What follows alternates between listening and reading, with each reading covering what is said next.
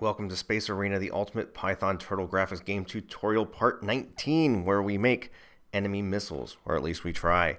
Um, welcome everybody. It's been a long time since I've been able to continue this particular uh, tutorial series. I do apologize for the delay. Just so you know, I have channel memberships now. I'd like to shout out to uh, Kevin and Paul, my very first two members.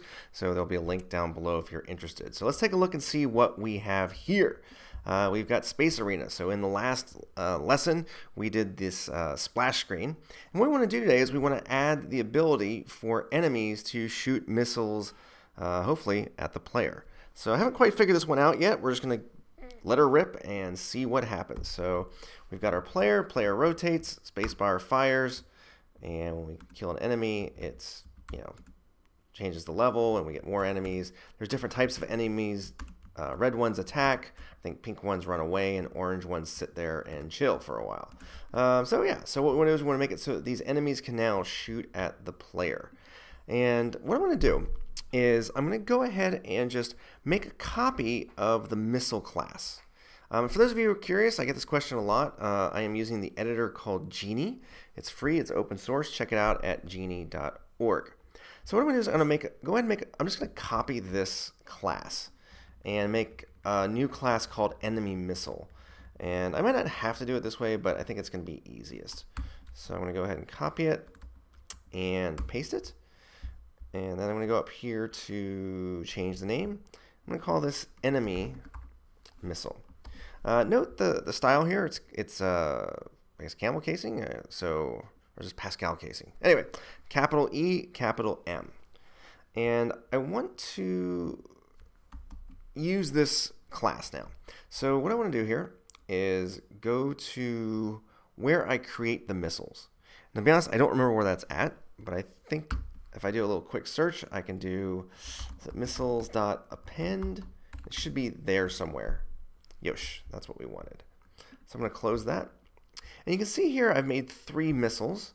But what I want to do is I want to add one more. So I'm going to say, well, let's go ahead and say add enemy missiles. Now, since this is a copy of the, uh, this is a copy of the missile class for the player, uh, I'm going to just basically do the same thing. So missiles.append. I think this is going to give us an not an error error, but it's going to it's going to work really weird, and we'll fix that later. Um, so I'm going to go ahead and put 0, 100 just like I did here. Uh, I'll make the enemy missiles circles as well, and we'll just make them red so that we know which one is which. So I'm just going to try this and see what happens. So um, now watch what happens when I run the program. If I run it, I'm going to be sitting through this splash screen every single time. And I, I don't want to do that. I'm, I'm kind of an impatient person sometimes. So what I can do is if I go up to here before, just before I do the splash screen, I'm going to say win.tracer 0 think that will do it. Yeah, so that's going to speed that up. Okay, so now, oops. Um, so you can see now the missiles aren't working. Okay, and the reason is I did some kind of bad coding, I think, the last time when I did this. Um, so the missiles now have, because there's four missiles in the uh, missile list. So if I go to player, and where the player fires. So you can see here where I look for number of missiles. And I have one, two, and three hard-coded. So this probably wasn't the best design choice. So to fix that, I'm going to go back to where I made that missile. And I'm just going to search for that. So it was missiles.append. And instead of appending to the missiles, I'm going to go ahead and just append that straight to the sprite list. I don't know if that's the right choice, but I think it's going to work and I'm going to say sprites.append. Okay, and then I'm just going to go ahead and run that and see if we got a missile anywhere. And start. Okay, now I don't see the missile, which eh, probably is a good thing actually. But now firing is working again. So sprites.append, sprites. So when we start the game, I'm just kind of trying to remember how the game works. You see we got game.startLevel. So if I go up to start level, you'll see sprites clear. So, oops.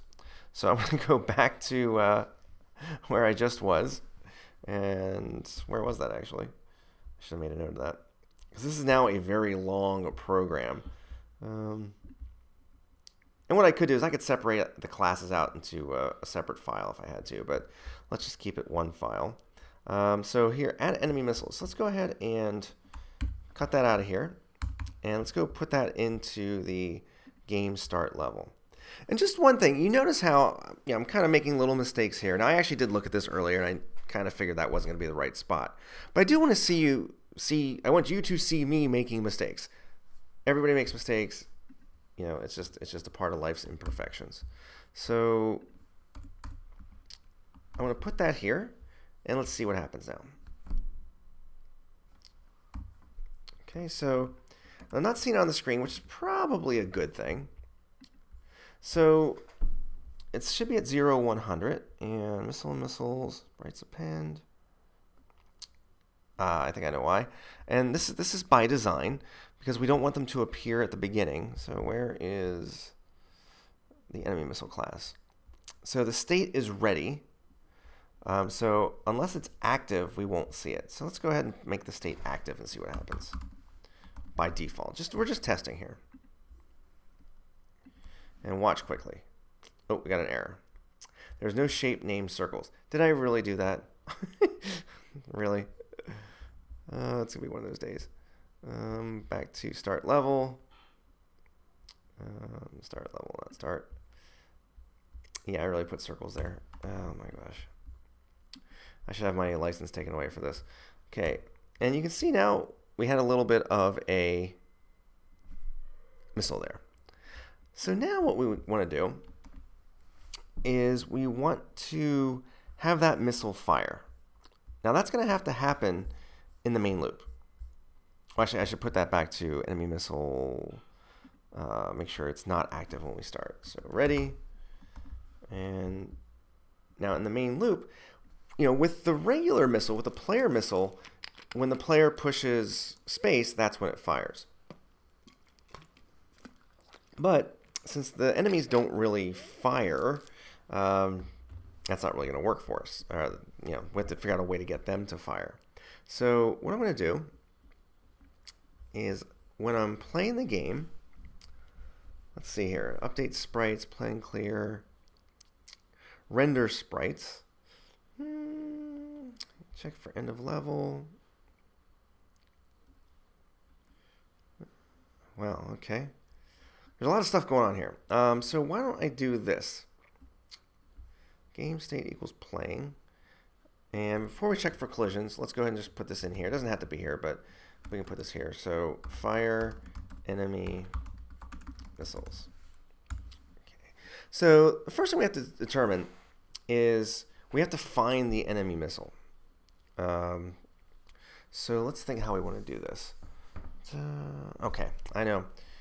Again, I didn't plan this one out ahead of time, so that's why there's it's not quite as smooth as I usually like to think I am, at least. So I'm going to go back to uh, start level. And you can see what I did here is add missiles.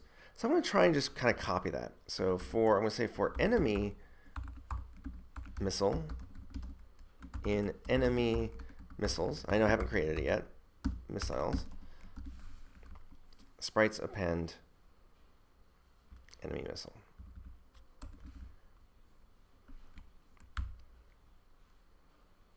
And I'm going to cut that out. Again, I'm sorry for all these changes, but again, I think it's important to see this process, that nothing ever works the way we plan them. Um, so yeah, so let's go ahead and give this a shot here. And then finally, I got to come back down to uh, missiles.append. I find that again. So I'm just going to basically do the same thing, but with enemy missiles. So enemy missiles equals, to, and that's a list. And for now, we're just going to have one missile in range, one. I'm to say enemy missiles.append. And as I copied that earlier, we did that. So then up in the game dot start, this is game dot start level.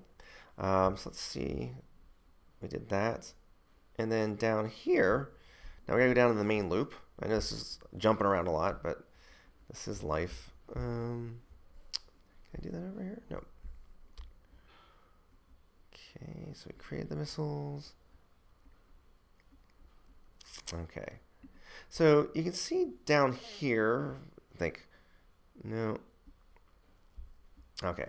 So now what I gotta do is for enemy missile and enemy missiles, okay, if enemy missile dot, I think it's state equals uh, ready, okay, we need to fire the missile. And now, to do that, we need the missile to go where there is an enemy. Okay, so for now what we'll do is we'll say for sprite in sprites, if is instance uh, sprite an enemy. So if it's an enemy, we'll say enemy missile dot go to enemy dot x enemy dot y. I think actually it might not be right. It's been a while, such a long time since I looked at this code. Um, let's go back to enemy. Okay, sprite. Uh, let me just check out the sprite class. Yes, there's an x and y. Okay, so I'm just gonna go and try this and see what happens. Oh, and then I need to also uh, I should go back down where I was. I need to, and I'm gonna say enemy underscore missile dot state equals active. Now notice I haven't given it a direction or anything like that. We'll get to that in a minute. Let's go ahead and see what happens here. Oops. I'm thinking this will work. Maybe. Okay, splash screen. This object has no attribute go to. Yeah, so enemy missile dot x equals. Uh, yeah, this is totally wrong. it's been a while. Uh, you're gonna hear that a lot probably in this tutorial. Sprite.x and enemy missile.y equals sprite.y. Okay, so let's try that again. So basically I'm just trying to find the first enemy I can in my list of sprites and then move the missile there and set it to active. Okay, there's the enemy. Now since this enemy is not moving, that's not gonna do much. Okay, so you, you saw that you saw the missile there. So you can see how the missile keeps appearing. Okay, so this this is what sort of what we wanted to happen. Um, now it's stuck there for some reason. So something went wrong with the code, but that's okay. We can, we can live with that. Um, so we need to target the missile at the player. Okay, so I think that code is in here somewhere. Let me see if I can do a little search for ATAN. New cancel. ATAN 2. Uh, ooh, cancel. Alrighty. This is going to be a problem. Um, I think I know how to do it though. Um, mm, okay. So let's see here. I'm pretty sure to do this. It's been a while since I tried this, but I've got math. Okay, let's try it. What the heck? Let's give it a shot. Um,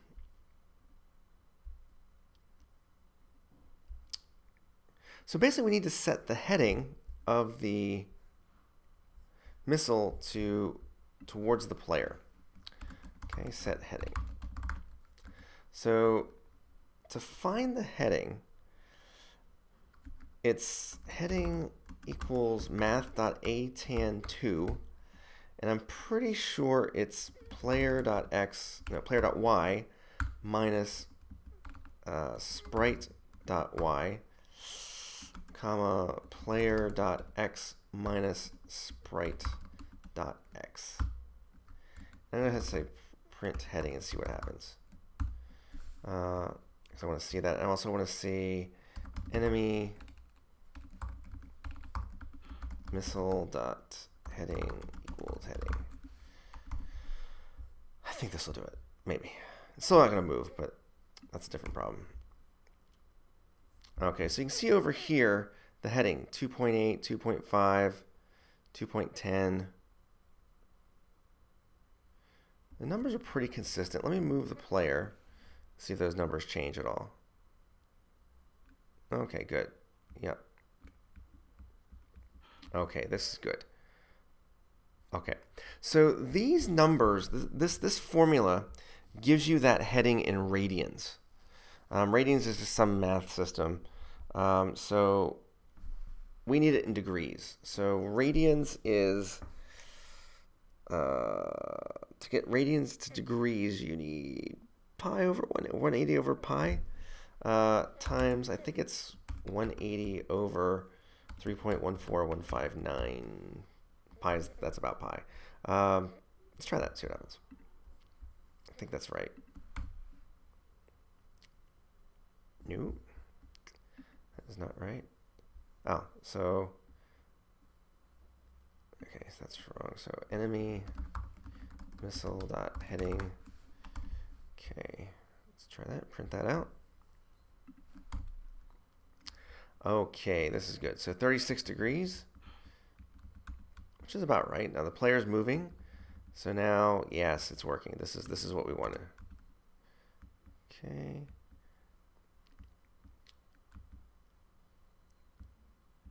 Okay, so you can see how the, the bullet's still firing, but it's not moving. Okay, so that's that's fine. We, we can live with that. Um, so now, now we need to get the missiles dx and dy matching the heading. So how do we do that? How do we do that in other other areas? Um, let's see here. Let's go to let's go to missile. See how the missile class does it. Um, Oh, okay. Oh, okay. Ah, interesting. Okay, this makes it really easy. Okay, so what we got to do, thank God, uh, that's fairly simple, is we've got to fire the missile. So we've set the heading, and then enemy missile dot fire, and that should send it towards the player, I think. Oh, for heaven's sakes. Fire. Seriously? let's take a look at this.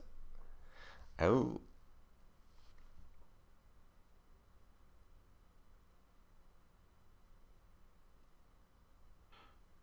Wow, okay. All right, so XY heading, okay, so I need to send these values. So XY heading dx dy, okay? So now this dx and dy was from the the speed of the already moving object. And this xy is its own xy. Um, okay, yeah, I can do that. All right, I think that's going to do it. Um, so, uh, this is not the prettiest, prettiest tutorial ever, so I do apologize. But uh, I think it's going to work. So all this stuff I did here, we don't have to do. Um, we can actually, except for the heading, we need to calculate the heading. Um, so what I need to do here is I'm going to put in here, it's dot fire. So x is going to be the sprite dot x that we're firing from. The sprite dot y, the heading we just calculated, um, it will set the active state for us. We don't have to deal with that anymore. Um, and the heading we need to calculate. And dx and dy is going to be the uh, sprite.dx and the sprite.dy. Normally, we're, previously with the missiles, we were firing from the position of the player, but now we're firing from the position of this sprite that we found. Okay, so let's go ahead and try that. Fingers crossed. Okay, so you can see it's firing, but now not quite the right direction, but that, that's a start. Um, all right, I can live with that. That's that's that's reasonable. Um, for x, y, sprite dx, sprite dy.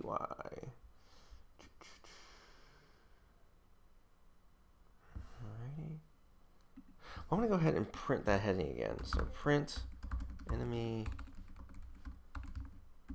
missile dot heading, And just make sure the heading part's working. Okay, so we're we're getting the wrong formula there. Um, oh, that's right. So we gotta actually change the heading so that we get the values there. So I think that's gonna fix it. So I'll comment that out for now.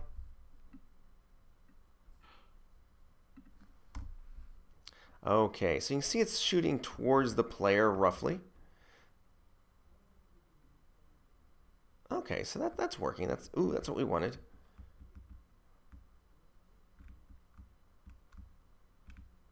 Alrighty. Okay, I'm liking this now. I'm pretty happy. Ooh, okay. So it's not particularly accurate, which is okay. We don't want the game to be too hard. Um, let me think about that for one second. Uh, that was good. Okay, now you can see it's always going to fire from that one enemy.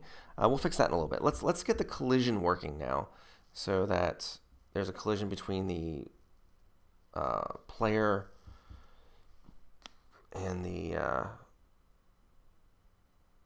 um, missile, enemy missile. So let's try this here. So let's deal with that. Um, so enemy missile collisions with player. Okay, so um, so this is for sprite in sprites. Okay, so if is instance sprite enemy missile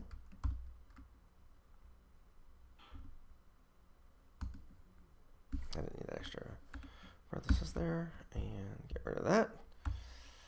I could have it, wouldn't hurt anything. Uh, if it's sprite, if uh, sprite dot state equals active and sprite dot collision sorry is collision player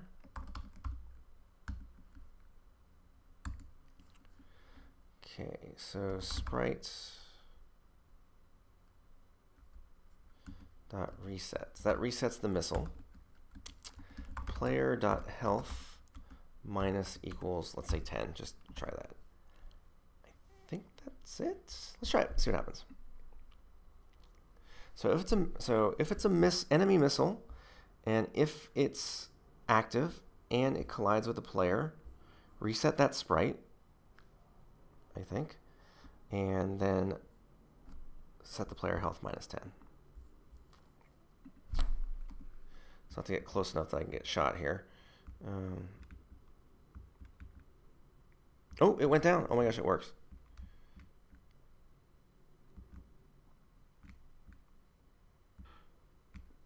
Yeah, it's not particularly accurate. That's that's a different problem. Um, it's not accurate because the uh, other player is moving, I think. Okay, let's let me shoot at this person and see what happens. Um, ooh, yeah, yeah. Oh, ooh, yeah. So I'm getting shot here and okay so you can see that's still shooting at me Okay, it works. Okay, so I guess it's working. Um, the only thing I don't like about this is it always shoots from the same uh, enemy. So what I'm going to do, and this isn't probably that pretty, but um, what I'll do is I'm going to make a list of enemies and let's go up to that code. Um, so for enemy missiles and enemy missiles. Um, if, so right here what we're doing is if the enemy missile state equals ready, then we're going to fire that missile. Um, okay, and then for sprite and sprites. So if, what we got to do is find all find all enemies. Okay, so so I'm to make a little list of enemies Okay. And what I'll do for sprite and sprites, if it's an enemy, uh, enemies append sprite.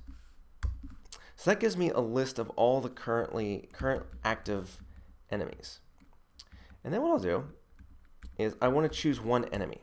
So enemy equals random dot choice enemies. So that gives me one enemy. And then I just need to unindent this. I think that's it.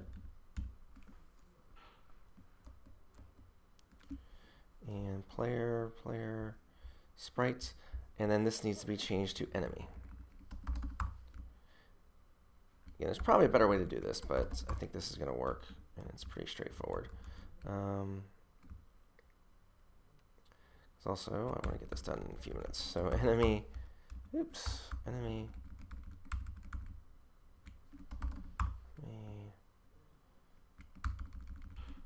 enemy, oops, and okay. So we'll have to get this to level. Well, first all, see if it still works on level one. Okay, so you see how it's shooting at me? It's hitting me. Boom. Okay, so let's go ahead and shoot back. Now we've got, okay, now you see how sometimes it's shooting from one. Okay, we got we got a little error there. Uh, okay, so it's shooting. Okay, so you can see how it's shooting from different directions now. This is pretty cool. Um, now it makes it really challenging. Um, so we might have to add some kind of timer so that it doesn't keep shooting constantly. And you can see I've got some kind of error there with like a hidden enemy showing up. But we'll just let that go for now.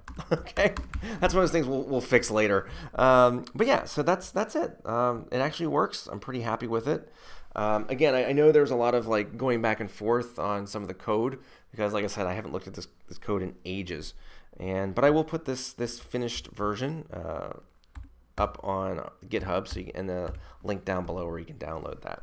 Um, so just you know watch back through the video. But basically, what we did was we created a new enemy missile class, and it's just a copy of the missile class. So it does all the same stuff, and you know we might end up changing that a little bit later, uh, letting the enemy missiles function a little bit differently. But for now, we'll, we'll use those, and then um, we made a list of those missiles somewhere, and yeah, enemy missiles, and you know we could make more than one, uh, but for now we'll just use one, and uh, then in the game.start level, boy, this is complex.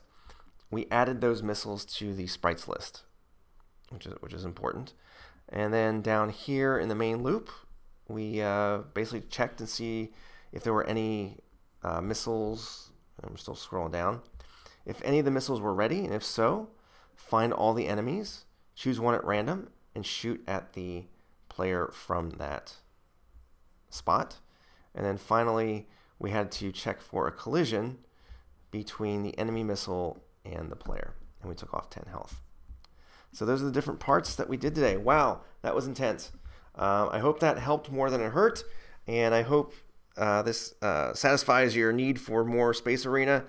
Until the next time. Take care. Keep on coding.